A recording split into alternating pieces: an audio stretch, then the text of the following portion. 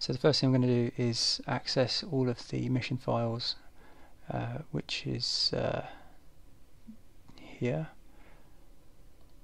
open with code. So these are all of the files that Liberation uses. Next you want to locate your mission params.hpp which is in the UI folder params. Next I'm going to take this block copy and paste into the revive mode section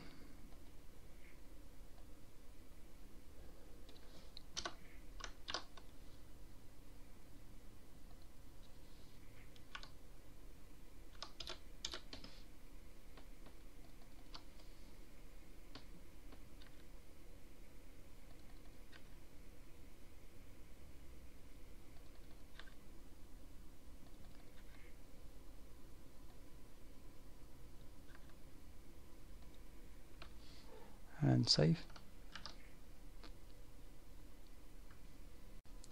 Then there are further comments to enable the AI to revive each other. Um, so we are referred to scripts client build do build.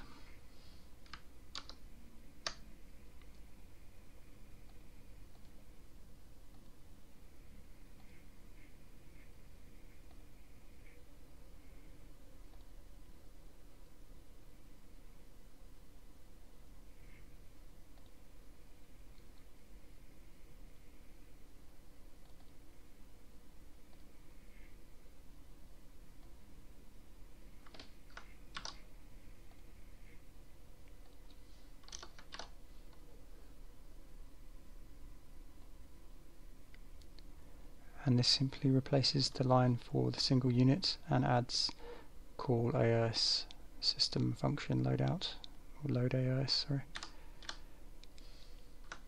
Save.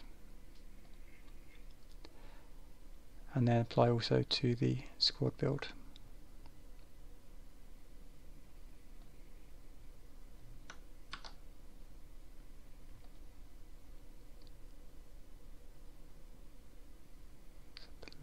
starts here.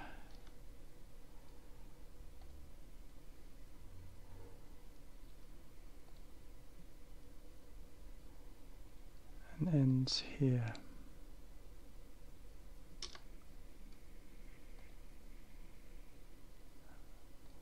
Apologies, here.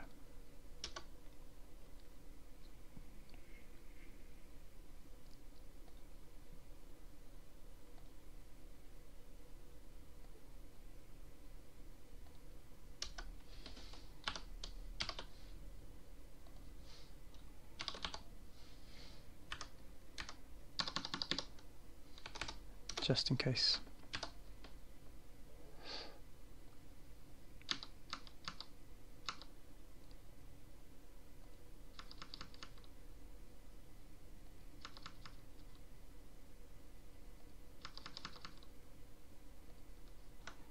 and save.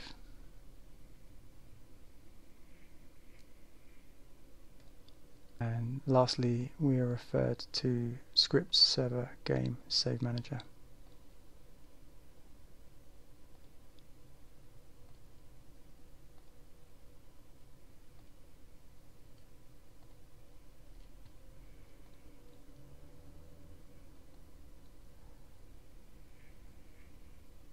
Line 41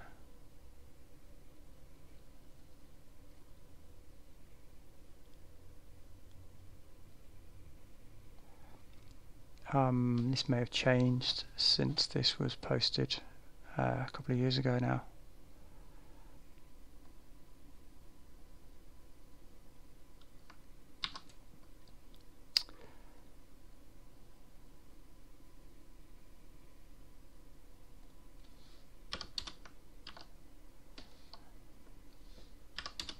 here also and save. Uh, next we download the actual uh, AIS system itself.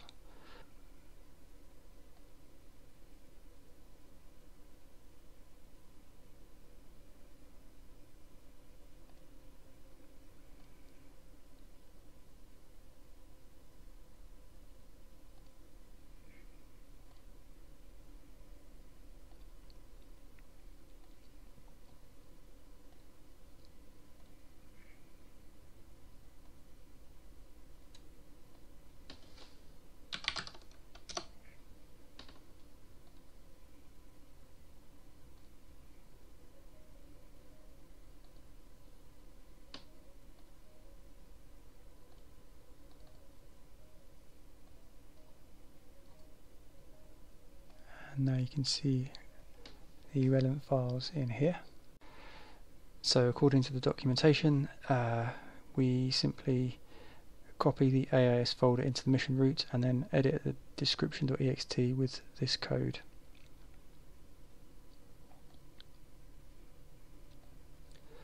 So first I'm just going to rename this to data just because it's slightly easier to navigate I'm just going to use the uh, Windows Explorer.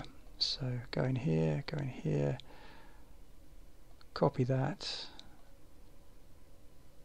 and back in the mission routes paste that in. Then we want to go into the description.ext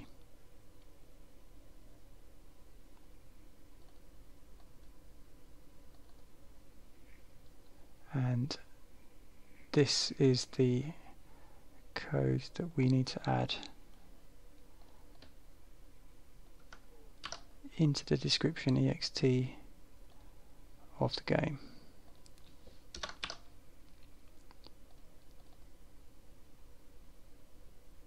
Sorry, of the mission.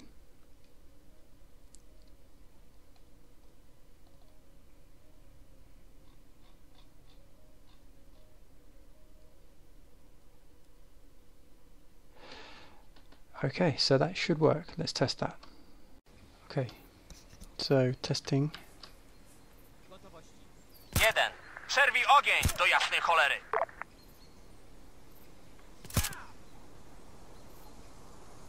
Potrzebuję pomocy, natychmiast! Cztery. Uh, so I żołnierza. just chucked a grenade down. This guy is automatically healing this guy. And I'm now able to stabilize this guy. So, seems like that process works. Hope that helps.